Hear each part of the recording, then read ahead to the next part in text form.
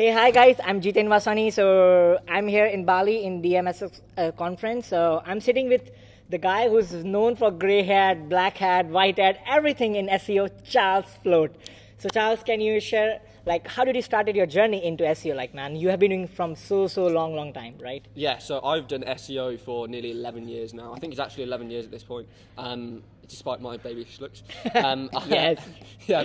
So I started in SEO actually when I was literally 12 years old. Um, I I began on forums mainly. So the initial start of how I actually got involved was my mom um, was an accountant. She worked, she worked for an accounting firm. She became a partner in an accounting firm, um, but she just hated it. Like she didn't want to do that job anymore. So she wanted to set up her own business.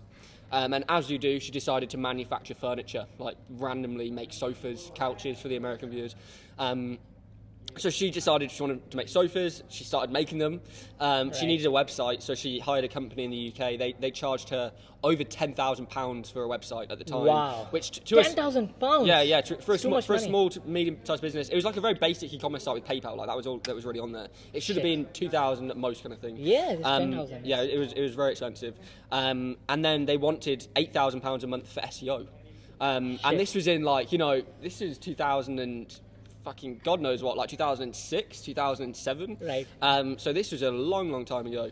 Um, and and obviously at the time SEO was not that difficult. Yes, yes. it was it not was worth eight thousand yeah. pounds a month. You know, that's over ten thousand dollars a month, and that was bear in mind at the times of conversion rates. That was well over ten thousand dollars a month at the right, time. Right. Um, so she basically came to me and said, "Look, Charles, you're good with computers. I see you're fucking playing games all day. Like, what are you doing? Um, why don't you do some work for me? See if you can do this SEO. I'll give you some money. It was like five hundred pounds or something at the time. You know, wow. seven hundred dollars or something. A lot of money to me as a kid, um, yes. but not a lot of money in SEO in general. Um, so she made, so I did it, and uh, I actually succeeded in ranking this website with the help of forums and with the help of uh, specifically a guy called Todd Foster, um, who now own, owns one of Canada's biggest agencies. He owns CA SEO. Um, they're, they're, they've got over uh, they've got over 450 clients now. Like they're they're, wow. they're massive. Um, but he was my original mentor. He's only, bear in mind he's only four or five years older than myself. So at the time he was like 16, I was 12. We're both from the UK. He moved to Canada when he was 19. Um, and he basically got me straight involved with SEO, but he was more of a black hat, so he was like spamming stuff with GSA. He was like, GSA, yes, yeah, yes. using. We even had something called uh, Wiki Blaster, I think it was at yes, the time. Like, yeah, like yeah, it was lo- very yeah, famous tool. Yeah, yeah, yeah lo- loads of these weird tools and stuff for, for just spamming the hell out of Google. Um, and very little on page, to be quite honest. Like we, we used right. to optimize the meta title in the description, but not even do content optimization, not even do image optimization, nothing like that. We were just spamming links. Spamming um, links. And it worked. To be, to be honest, it worked. Like it worked really, really well. And my mom went from, um, you know, she went from three employees. She's now got 75 employees. Wow. Uh, 10 years later, yeah. And during most of it at the very start was because of me doing the SEO on it. Like she was doing some Google AdWords and stuff, but the, right. the profit margins on the AdWords was terrible. Um, you know, she's making 10, 20 pounds on a sofa couch, which is really, really low um, for, for such a big, heavy object that you've got to ship and everything as well. So we ended up just putting all of this budget into SEO, and she was selling 250 sofas a month wow. from SEO. So um, that's, that had huge profit margins for her, and it allowed her to expand. She's got now multiple warehouses, multiple businesses, that kind of thing. So, yeah. yeah. But now, if you see in 2020, like spamming is hard. Like, oh yeah, really so difficult. What yeah, do you think yeah. about like in 2020, like PBN, like these kind of things are going to work out? Like oh yeah, yeah. So so I think modern day black hat is very different. It's so, very different, yes, yeah. So, so it's not really spamming anymore, and to an extent, I'm not even really a black hat because I so all my websites, so the website itself, the content, the on page is all white hat. Like it's all really good on page. Like you right. know, I've got some of the best on page experts in the world that I work with, like Daniel yes. Cuttridge and people like that. Yes. Um, and we and we just smash the on page 100. percent But then it's all powered by like paid for links, PBNs, you know, uh. created links with social profiles and citations and things like that. It's all black hat link building because at the end of the day, a PBN is black hat, buying course, links is yes, black hat. Yes, Anything yes, that is any, any, link building as a fact. So even if you're doing guest post outreach, that's still black hat. Like it's, you know, yeah, it's still violating Google's guidelines. Yes. Doesn't matter if you're paying for it or not. Right. Um, so any any form of link building is uh, unless it's you know you're, building sponsoring a charity or something can you get them a link from that kind of stuff? Google will allow you to get away with that kind of stuff. Um, but i think it'll still work. I think it will just be a lot more difficult.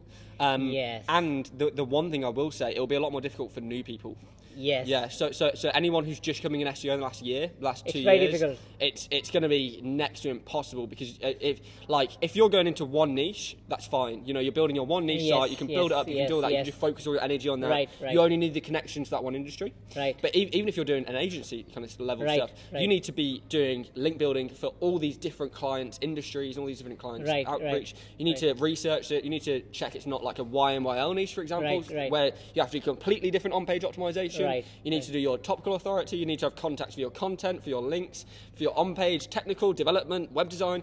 Like it's huge. You need to have so much yes. connections and so much knowledge that it's very, very difficult for anyone new just to just to get involved in SEO properly nowadays. Unless you go and work for like an agency and get trained up or something. Yeah. and what do you think like in 2020 like what should be the ratio for links like no follow and do follow because there's a lot of controversy here like no follow do follow like what Yeah. should be your like So, so I, Opinion. I, I don't aim for a specific ratio overall, um, and also that there, there is an argument to be said that Yes. like that, that ratios um, don't necessarily work because, for example, if, If you're I'm- looking at Ahrefs anchor anchor cloud, yeah, where it says you have four percent exact match anchor Exact match, yes, yeah, yes, yes. That's kind of bullshit because if you look deeper on, they're counting the same link from that blog post on the category page, on Yes. the admin page, on the archive three page, on the Uh, archive four four- page. four page, yes, yeah, exactly. So it's just going on and on. Yes. Whereas realistically, Google aren't counting those. They're only counting the main link that it indexes first. okay. So your your anchor text ratio and your no follow do follow ratio, etc., is completely thrown off on those tools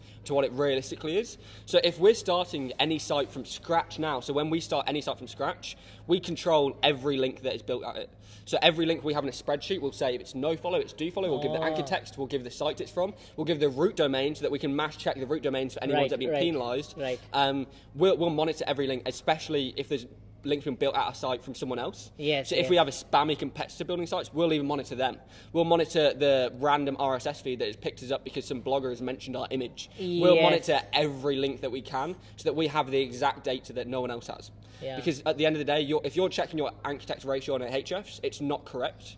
And we're checking our anchor text ratio on our own document where we have every link that site has ever gotten. Right. We have the exact anchor text ratio that we realistically have. And that allows us so much more insight into the campaign. Because for the newbies right now i feel like in 2020 it's very hard to rank a new domain with like zero authority nothing like Yeah. so what do you want to say like buying buying an expired domain is very helpful Uh, so, so I wouldn't go expired. A- age domains. Uh-huh. Age domains, yeah. yeah. So, so Okay. age domains work. Um, but if you're a newbie and you're just getting started and you literally, and you don't have budget and you're starting, Yeah, they and- don't have the money, right, Exactly sure, right. yeah. So, so then you have to go the new domain it's very hard like 2020 because, because otherwise you're going to be spending thousand dollars, two thousand dollars on an age least. domain that's niche Age relevant. domains, exactly. yes, Yeah. yes, of course. Um, so you have to go. You have to start from the beginning. But what you can do is you can do trust signals. So something that everyone seems to have forgotten about is the signals that allows Google to verify that you're a real website. Yes, So yes. an SSL certificate, your your topical authority, all your content interlinking properly, making sure you're make sure it's working properly. Um, the start of your site's backlinks. If you're if you're building a brand new website, yes and and your first few links are like a DA20 guest post, that's probably not going to do much because you're on a brand new domain and that, that domain isn't authoritative enough and isn't relevant enough to pass you the juice that you need. Juice, yes. So when we're starting out, we're trying to earn big bucks links. Now, I'm not saying, you know, you need to go and get a Forbes article. Forbes, yeah. yeah. I'm not saying you need to go get It's DR95. expensive, of course, it's yeah, very- but, but you can create a really good piece of content. Uh-huh. And this is very white hat of me to say, um, but you can then use that piece of content to outreach to bigger sites, broken link building, anything like broken that. link building, Yeah, yes. so so and anything that's free because you can use Mailshake rather than using Pitchbox, which yeah, is is two hundred dollars a month. Yes. you can you can use Google Analytics, you can Yes. use Webmaster Tools, Yes. you can use Excel, you can Yes. Google Sheets. Yes. Even if you can't afford Microsoft Office, you can still use Google Sheets for free. of course free Yeah, exactly. So, so there's all these tools that you can use for free that you don't realistically need other tools to do it. And even when it comes to keyword research, a lot of people are like, "How do I do keyword research when I don't have Google. Ahrefs?" You just search it on Google. Search Google on gives you Google related a lot of terms. related, so you can use those because a lot yeah. of times I, I don't use the keyword search tool. I just see No, yeah. what people are searching on Google, like Yeah. related searches, like so Yeah. that's the, that that are your keywords, right? Yeah, exactly. Yeah, one hundred percent. And and and then you can also find other topics to write Right. about that is similar to that topic. Right. That then you can internal link back to that piece, which adds more topical authority, adds more internal juice, all those kind of things as well. And also. For example, if you have an affiliate website Right. and you're trying to rank, and you don't have any money, but you're trying to rank this page, let's say about the best vacuum cleaners 2020, right? Yes. you don't have any money, um, but you have time and you have dedication and you have patience.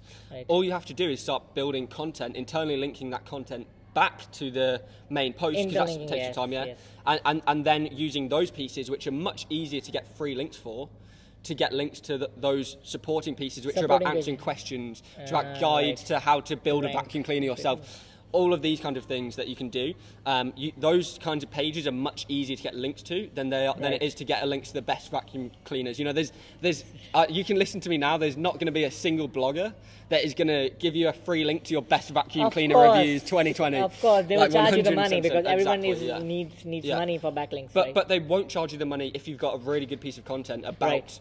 About how to build vacuum cleaners or something, and they've got a niche relevant blog, and they've got a broken link anyway. It makes sense so- for them to go in and fix it. It's, yeah, uh, so they yeah. can do it. Like I, I, I, did, I did that at the start, you know, when I didn't have any cash and when I didn't have anything, I would just do as much free stuff as I could. Or even more so, what I would actually do is I'd work with SEOs who had the links. So I, so I know that, that I know that Matt Diggity he has the Yes. PBNs. Of course, I know, he has the I- PBNs, yeah, right. I, I, I know that this guy has you know the, the guest posts for my niche. Right. I'll PM them. I'll be like, what work do you need doing? Like you know, do you need some on page? Do you need an audit? Do you need me to write content for you? I have time, but I don't have money. so, you can pay. Yes. Yeah, so I'll give my my time for the their services, and ninety percent of the time, those kind of people will do it for you. Like they just will because it makes sense. that makes sense to them, right? So, what is the number one strategy that is working for you in 2020 in terms of link building? Like, if you Um, want to choose the the one strategy, like Probably tiered link building. Tier link building. Yeah, so so I'm not talking about like Matthew Woodward's tutorial Ah, yeah, that's, on that's tiered a- link building. Yeah, It's ranking on the top of Google, right? Yeah, So- I know. so yeah. Um, so Yeah. I'm not talking about that kind of tiered link building. I'm talking about like high quality tiered link High building. quality, yes. Yeah. So so. uh, Um, one of the major things I see when we get clients is Uh-huh. that they'll have they'll already have links. For example, we just got a client recently. They're a skincare they're a skincare client, massive, Skincare, huge, huge skincare client. But they've they've only got hundred referring domains, and they rank for nothing basically. They just they spend hundred thousand dollars a month on AdWords. And they get maybe a thousand visits from Google, organic, right? Oh, They're spending tons of money on AdWords, but they don't get Shit. much of anything off of Google Organic. Um, and what I noted was because they were spending so much money on advertising, and because their CEO had like done quotes for Cosmopolitan, and he'd done quotes for Forbes, and he'd done this and stuff, they had some really fucking good links, like really strong links. Of course. But but and, and there was not much point in us trying to get these links because they've already got them. So what we did was we got niche relevant niche edits. So we got skincare related to niche edits, and then we powered up those links. Links, so so, so like, they were yeah. so they, these are real sites, Right. real articles, aged articles. We'd Ah. insert the link onto those aged articles, Yes, so link back to the Cosmopolitan article, for example, and that Cosmopolitan article would go to the homepage. And then the homepage shot up in Google because we had all these links funneling to it. Funny and on, funneling. on, on its own, a Cosmopolitan link is pretty good. Like Right. you know, it's a good signal. Right. But if it's if it's a new article, it doesn't have any internal links. Of course, So it's not yes. powered up by the rest of the site. Yes. It doesn't have any backlinks. Yes. And if it does, they're generally like syndicated by like random other press release sites or like random stuff that just copy the article exact Right. word for word Right, and move it over, which is isn't a good backlink. Yes. Um, or, or it just doesn't have anything whatsoever. So, so Right. what we did, all we did was put a couple of links each each post, Mm-hmm. and those links became infinitely more powerful. You know, I'm talking ten times, twenty times more powerful than they Ah. were previously on their own. Previously, okay. Yeah, and and the site went from under a thousand visits a day, around a thousand visits a day. Uh, sorry, around a thousand visits a month, Month to, to- now thirty thousand visits a month with, Wow. with, within three months. Like yeah. So, Massive so- growth. Yeah, it's huge growth. Um, and all we did was on page and tier two link building. We didn't even build any links direct at all. Like because they already have the links. they so already have they already had the power. They have just hadn't the activated that yes. power. If you know what I mean. So Yeah. links funneling, right? And, and yeah, exactly. And, and we turned the so if you look at Ahrefs, you look at Moz. Ahrefs has UR, which is URL rating, and Moz has PA, which is page authority. Mm-hmm. Um, you know, the page authority and the, and the URL of those was like 10, 20, You know, because and it's because of the root authority. It's not because they have any links. Right. After we'd done the link building, they were like UR forty. PA 40, PA 50, do you know what I mean? Because we'd put these really powerful links, Powerful tier links. two, but they're not that expensive. You know, they're like hundred dollars a link or so for this kind of stuff. And this guy and this client has a massive budget for SEO, um, and they and they haven't had any SEO work done previously. So we have like a blank slate basically, where we can just do whatever we want. So and the tiered link building, testing, right? Yeah, and the tiered link building was the most powerful part of that entire campaign because they already had the links. And if, if we wanted to go and get a link on Cosmo, Yes. Cosmopolitan, it would cost two thousand dollars. Of course, Yeah, it's yeah. expensive. And, and sure. all we had to do is put four hundred dollars of links at the tier two at this link Tier already. two, so that's a tier two link building. Exactly, yeah, and it smashes it every time, yeah. But but it's again, it's not you can't like spam Web 2.0s a- uh, uh, anymore. You can't like blast wiki, wiki links at them, that kind of stuff. Just tier like two. Parasite SEO, it don't work. No, like, it, it doesn't work like that anymore. You have to do high quality tier twos. Like you have to keep the quality consistent along all the tiers. Otherwise, the link just goes dead. Like that link will pass a negative signal, or it just won't pass a signal at all, which is what you really don't want. right, totally true. Yeah. So, so, so, Charles, can we talk about that conference that, that you're planning to do, like a white hat, grey hat stuff? Like, so, can we talk about this conference on this video? Is it okay for you? Yeah, Like, so so basically it's it's at DMSS. Okay. So next year, so we're Next year, currently yes. we're currently at DMSS. This is the beautiful DMSS yeah, ballroom. It's very beautiful. Yeah. Um, and and uh, Gary Illyes was just on stage um, from Google, who's a From Google engineer. Google. Yeah. Um, and I basically went over to him and asked him, you know, can I take a picture with you and this and stuff. Um, No. And yeah, he, he at first said no. um, I convinced him a little bit, and we also then spoke to Bree, who's the organizer of Yes, DMSS, Bree, yep. uh, Bree Moreau. And he basically came up with an idea of doing a Google versus Black Hat SEO AMA. So like a Reddit AMA. Ask Me Anything. Yes. So not necessarily a debate between me and Gary because Yeah. that might not work out the best. No, no, Um, yeah. So so instead we're just gonna have an AMA where people can ask questions. No phones allowed. No, No one's allowed phones to allowed, tweet. nothing. No one's allowed to video record. Yes, There's no audio. No microphone. Nothing. Because it, it should be very private, like it's like secrets exactly, will be spilled yeah. out. Like people will be sharing. Okay, I have done Yeah. this link building, and this is how I tricked Google. Yeah, right? exactly. Yeah. So yeah. So he. So we just want it off the record kind of thing. Yeah, Um, but so- we're, we're planning to do that DMSS 2020. It's, so, it's yeah. DMS so, 2020. Yes. Yeah. So so Bali October 2020. So get ready for black yeah. head, grey hat, white hat, everything. That's pretty good. Yeah. So thanks so much, Charles. Like you, you share a lot of great stuff in white hat, grey hat, and I've read your blog. Like you have shared a very good knowledge about SEO. Like I've learned, learned so many things here. Like to be you, very yeah. honest. Mm-hmm. So thank you so much, Charles, and Yeah, it was a as well. pleasure to meet you and see you in Chiang Mai Yeah. See you at Chiang Mai in, SEO. in yeah. SEO conference. Bye bye. Take care. Bye. Yeah.